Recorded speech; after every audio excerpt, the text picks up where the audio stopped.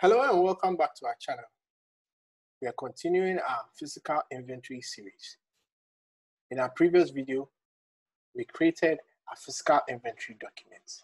Now, after the physical inventory document is created, the materials on our physical inventory document are counted fiscally and recorded on our physical inventory document. After that, we come and enter our count in the system. So today we'll focus on entering our count and then changing our physical count if there's any discrepancies and we had to count again. So we do this by clicking on our enter inventory count tab.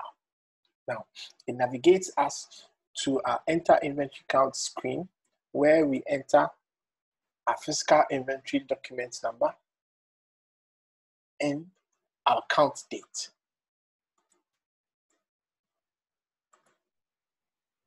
We go ahead to specify our count date and then we push enter. It brings up our physical inventory document where we can enter our count quantity.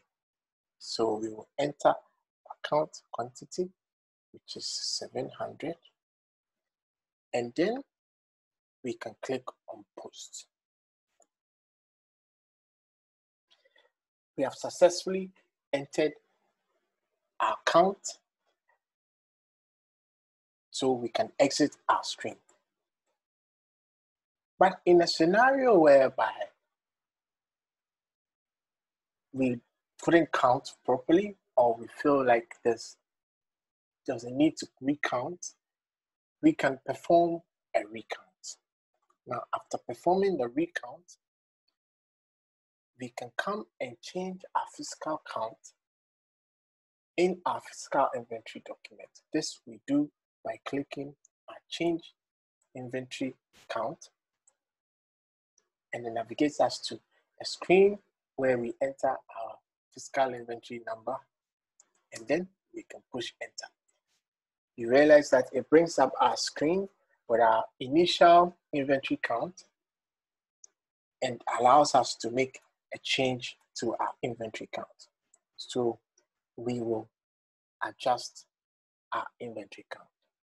And then we can go ahead and click post. We have successfully changed our count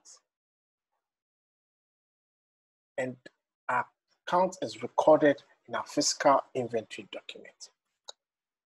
Kindly subscribe and come back for the next process in our physical inventory process.